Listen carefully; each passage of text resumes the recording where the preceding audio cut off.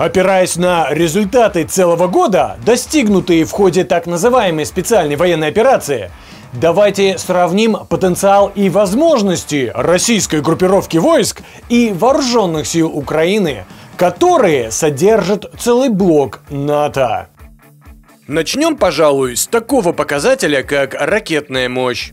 Поражая военные и стратегические цели на Украине, Россия продемонстрировала высокий потенциал своего ракетного вооружения большой дальности в виде массовых пусков баллистических, крылатых и иных управляемых ракет, уничтожающих цели с высокой точностью на расстоянии до 5500 километров. Способность в залпе отправить к целям сотню крылатых ракет ставит Россию на второе место после Соединенных Штатов. Ну а гиперзвуковое оружие делает российскую армию в данном критерии мировым лидером.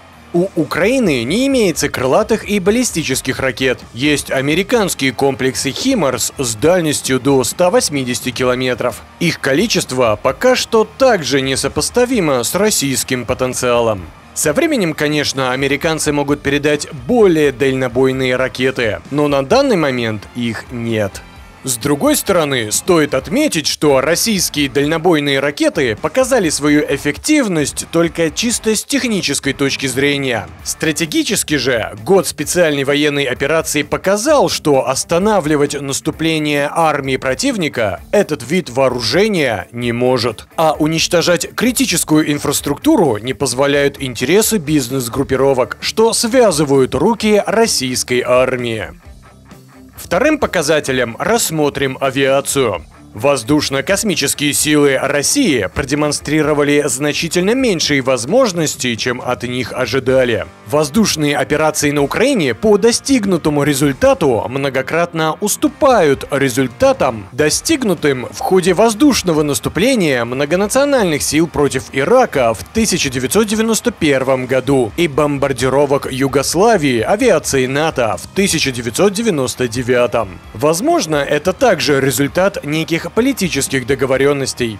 Точной цифры количества самолетов и вертолетов, задействованных Россией в ходе специальной военной операции, не имеется. Но по разным косвенным признакам и оценкам это около 450 боевых самолетов и около 250 вертолетов. В вышеупомянутых воздушных операциях в Ираке и Югославии американцы задействовали как минимум в два раза больше авиации. При этом противовоздушная оборона этих стран была значительно менее опасна половина ныне имеющихся у Украины зенитно-ракетных комплексов.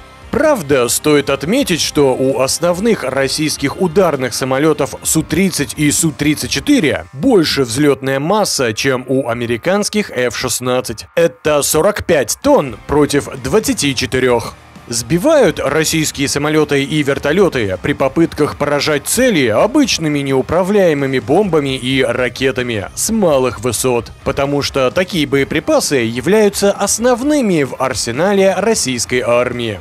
Говоря проще, передовые по своим возможностям самолеты вынуждены применять простейшие средства поражения, полностью нивелирующие возможности бортового радиоэлектронного оборудования этих самолетов.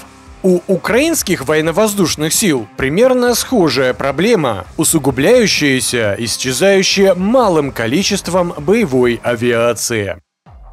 Третьим показателем рассмотрим возможности противовоздушной обороны. Несмотря на то, что украинцам эпизодически удается наносить удары по тылам российской армии, наземные силы противовоздушной обороны представляют из себя довольно надежный щит от угроз с воздуха. Однако, несмотря на то, что у России гораздо больше, чем у Украины зенитно-ракетных комплексов всех классов, их все равно недостаточно, чтобы прикрыть весь участок фронта и границы. В связи с этим американские средства разведки регулярно нащупывают слабые места в российском воздушном пространстве, куда периодически залетают украинские беспилотники.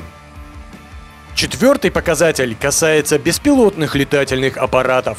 Недооценка российской армии важности малых разведывательных беспилотников для пехотных подразделений и артиллерии привела не только к дефициту квадрокоптеров в войсках, но и к отсутствию в подразделениях высокоэффективных средств борьбы с ними.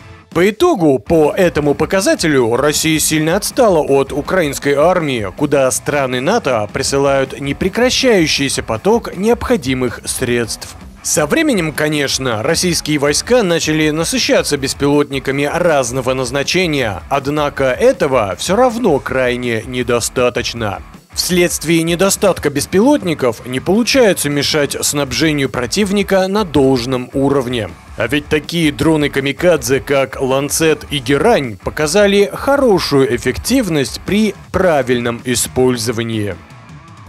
Пятым показателем стоит обязательно отметить артиллерию, что является в данной войне в Украине, пожалуй, самым решающим фактором. Боевые действия показали, что российская артиллерия полностью, а украинская почти полностью состоят из советского наследия. Правда, у российской армии имеются современные модернизации старых установок, заключающиеся в первую очередь в появлении корректируемого боеприпаса. Украинцам натовские союзники предоставили свои, в том числе более современные артиллерийские установки.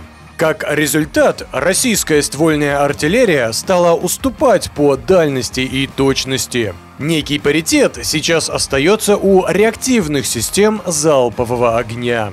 Несмотря на все недостатки, благодаря огромному численному превосходству в количестве стволов, российская артиллерия все-таки пока доминирует на поле боя, пользуясь устаревшей тактикой огненного вала, что неминуемо влечет за собой снарядный голод. И если в Украине недостаток современных и высокоточных натовских боеприпасов связан с их дороговизной, то в России с невозможностью быстро производить снаряды и ракеты в должном количестве. Ну и в качестве последнего, шестого показателя эффективности, давайте рассмотрим наземную военную технику в общем. Более подробные сравнения российских и натовских танков и боевых машин пехоты можно легко найти на моем канале и по подсказкам, что появляются сверху. Основой материальной части бронетанковых войск является богатое наследство, оставленное Советским Союзом в виде невероятных запасов вооружений. Украина и Россия активно пользуются полученным наследством, поддерживая актуальность имеющейся бронетехники путем ее модернизации. Легкую бронетехнику в основном усиливают новыми пушками, а танки – дополнительной защитой. По техническим характеристикам все это друг от друга критически не отличается. А вот по количеству железа Россия все же явно лидирует. Это лидерство НАТО всячески пытается нивелировать, загоняя на Украину тысячи единиц различной бронетехники. Ну а на что на практике способны западные танки и боевые машины пехоты в полномасштабной войне, мы узнаем этой весной. В качестве краткого подведения итогов отмечу, что несмотря на все вскрывшиеся в ходе войны недостатки вооруженных сил России и учитывая, что в армиях НАТО тоже не все гладко, в целом, между украинской армией и российской группировкой войск сохраняется некое статус-кво. Например, преимущество Украины в ударных беспилотниках нивелируется эффективностью российской противовоздушной обороны. А из-за преимущества в дальности стрельбы западных гаубиц россияне решают задачи по контрбатарейной борьбе с помощью дронов Камикадзе Ланцет. Ну и так и далее и тому подобное. Да, можно было бы, конечно, еще сравнить и людские ресурсы, которых у России в пять раз больше. Ну а кто на войне теряет больше военнослужащих, можно косвенно определить по количеству и масштабам мобилизации. Ну а мне, как всегда, будет крайне интересно узнать твое мнение в комментариях под видео. Чтобы знать еще больше самых интересных и важных новостей, обязательно вступай в мою группу ВКонтакте. Подписывайся на мой Яндекс.Дзен, ну так, на всякий случай. И про мой второй, музыкальный канал не забывай. Все ссылки в описании под видео. Ну а с вами был Хардастер. Всем мира и процветания!